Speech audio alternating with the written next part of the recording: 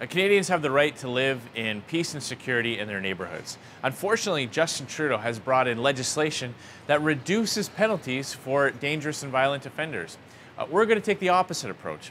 People who commit the same crime over and over again or who create violent crimes need to be held accountable for their actions. And moms and dads have the right to send their children out throughout the neighborhood knowing that they won't have to worry about them being victims. So what we're going to do is we're going to increase penalties for those people who continually reoffend. We're also going to target gangs. Uh, to clean up our cities, we're going to get illegal guns off the street by cracking down on those who traffic and smuggle in firearms. We're going to give more resources to our police agencies so they can track those illegal firearms. That's a real plan to make our communities safer, unlike the Trudeau Liberals who always put the rights of criminals ahead of the rights of law abiding citizens.